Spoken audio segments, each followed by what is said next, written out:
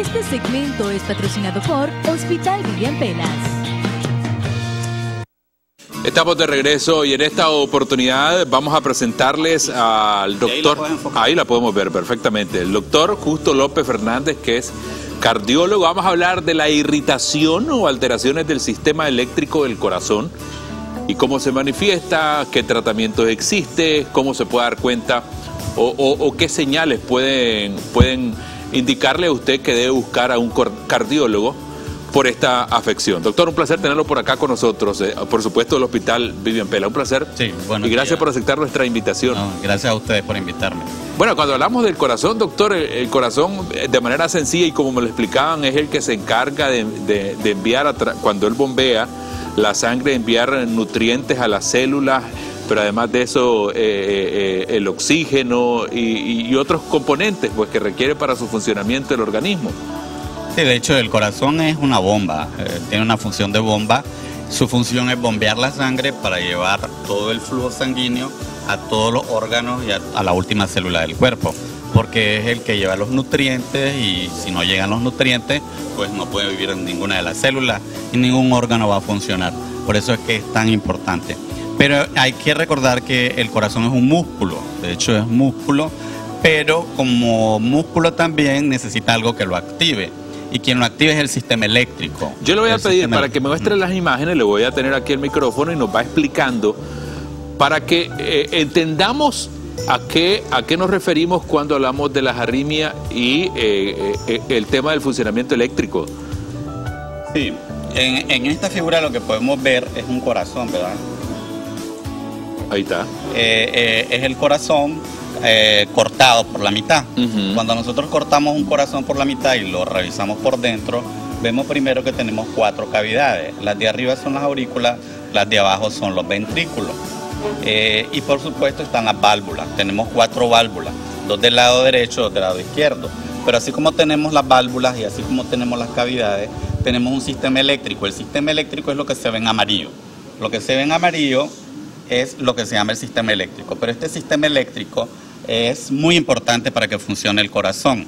Si este sistema eléctrico falla, tenemos problemas. Ahí es que vienen las arritmias. Las arritmias son alteraciones de este sistema eléctrico. Todos tenemos un sistema de conducción eléctrica dentro del corazón, igual que una casa.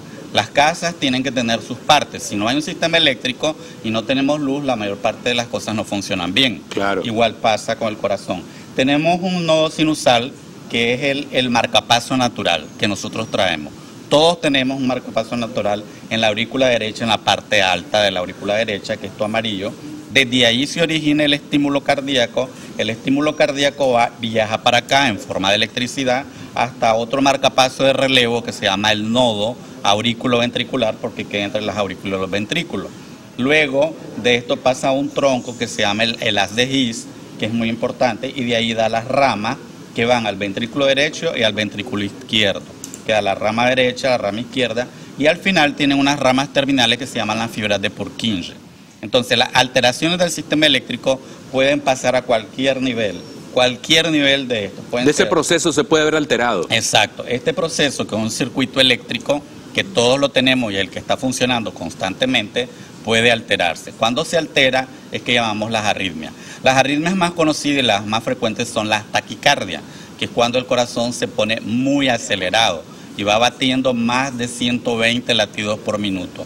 Nosotros soportamos bien hasta 140 latidos por minuto, porque cuando estamos en actividad el corazón se tiene que acelerar para dar abasto a lo que está pidiendo el cuerpo. Y es como cuando hacemos ejercicio. Pero cuando ya nosotros llegamos arriba de 160 latidos por minuto, ya nos sentimos mal y comenzamos a tener dolor en el pecho, mareo, incluso podemos desmayarnos. Entonces, esos son generalmente los síntomas de que algo está pasando. La mayoría de las personas resienten los pálpitos, las palpitaciones, las pueden sentir aquí en el cuello, las pueden sentir aquí en el pecho y las pueden sentir hasta en el estómago. Son las llamadas palpitaciones. Doctor, una pregunta. Cuando usted hace una relación, una comparación, una persona atlética puede tener un, ritmo cardíaco mucho más, no sé si es el término adecuado, mucho más alterado que una persona normal. Normalmente la persona que hace ejercicio tiene todo lo contrario, tiende a ser un corazón lento. ¿Así? ¿Ah, Su corazón es más lento, es un corazón que está adaptado al ejercicio y él se va acelerando poco a poco cuando está haciendo ejercicio. El problema es de que él también la masa muscular es más grande, entonces el corazón del atleta se comporta totalmente distinto, pero puede tener arritmia puede tener arritmias que son normales y arritmias que son anormales y que pueden ser muy peligrosas. Okay. Entonces, el problema de la arritmia es que todos podemos tenerlas. Las más frecuentes son las que llamamos las extrasístoles, que son latidos prematuros. Todos las sentimos cuando tomamos café, cuando andamos desvelados, nos pueden dar. Pero esas también pueden ser peligrosas. Esas se dan cuando tenemos problemas en las coronarias que sean las taquicardias ventriculares o las fibrilaciones ventriculares, que son las que dan muerte súbita, que son las que podemos morir, que podemos incluso caer de un solo. Eh, estas pueden dar en las personas que tienen enfermedades de las coronarias, pero también le puede dar a, un, alguien que es sano y que tiene un problema eléctrico de fondo que no se ha dado cuenta, porque a veces nacemos, nacemos con problemas del sistema eléctrico. Uno de ellos es este que se llama el World Parkinson White este es una alteración congénita que tenemos una vía, que estas son estas azulitas que están ahí, que en vez de pasar por el, sistema eléctrico por este lado, hace un cortocircuito por acá. Entonces, estos pacientes generalmente hacen un circuito adicional y hacen taquicardias muy severas que pueden llegar hasta 180 por ¿Qué procedimientos hay en este caso concreto? Entonces, en este caso lo que hay que hacer es un estudio electrofisiológico, que es un estudio del corazón con catéteres dentro del corazón y luego se aplica radiofrecuencia para cortar el circuito. Eso nosotros ya lo estamos comenzando a hacer. De hecho, para hablar de las arritmias tenemos que hablar que también dentro de la cardiología existe la especialidad de la electrofisiología cardíaca. Yo soy cardiólogo, pero soy entrenado en electrofisiología cardíaca. En el país solo vemos ahora como cuatro que hemos llegado que somos especialistas en lo que se llama el sistema eléctrico y que podemos realizar este tipo de procedimientos. Hay que hablar también de que las arritmias no solo es cuando hay taquicardia, porque pueden haber las taquicardias, pero también pueden haber la bradicardia. La bradicardia es cuando el corazón va muy lento, debajo de 50 por minuto. También eso pone en peligro la vida. En este ¿Cómo se manifiesta? ¿Cómo lo percibimos? Normalmente son mareos, como vértigo. Eh, generalmente tenemos sin fuerza, que andamos que muy fatigados y que nos cansamos rápidamente. Claro, esto se ve más en las personas mayores, pero se puede dar también en personas más jóvenes. Eh, lo que pasa es que el sistema eléctrico también, a medida que avanzamos en edad, él se va desgastando, se va gastando porque lo estamos usando todo el tiempo. Entonces cuando llegamos a los 70, 80 años, él ya, ya está gastado. También hay propuestas para tratar de regularlo cuando ya es por Entonces, edad. Cuando ya es por edad, lo que utilizamos normalmente son los marcapasos. Se, se tiene que colocar un marcapaso para que el marcapaso haga la función de estos nodos que ya están enfermos.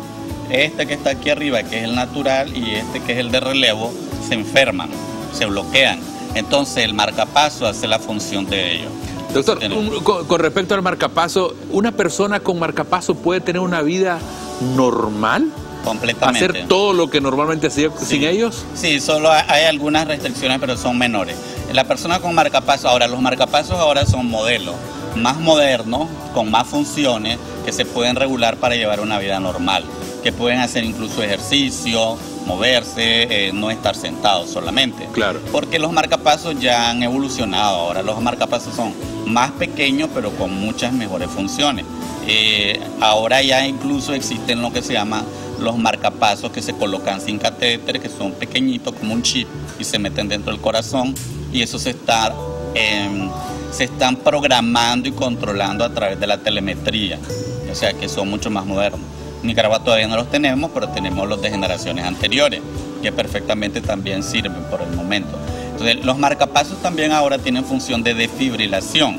Es decir, que si hay una taquicardia muy, muy fuerte que amenaza la vida, también va a entrar y va a dar choques, como los choques que nosotros damos cuando estamos resucitando en los hospitales o cuando hay una emergencia, una emergencia de cualquier clínica que tenemos un aparato que se llama desfibrilador y, entonces damos los choques para que el corazón vuelva a lo normal.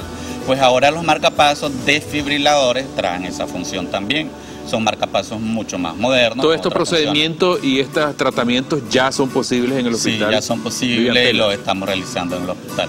Sí. Doctor, yo le voy a pedir, mire, yo sé que estos temas, de hecho la vez pasada, en el programa pasado estuvimos hablando también de las afecciones del corazón y hoy tomamos el, el tema de las arritmias es un tema que no lo vamos a poder desarrollar en tan poco tiempo, pero tenemos una idea de explicación del funcionamiento del corazón y de aquellas señales que nos pueden indicar que debemos ir a buscar una atención médica.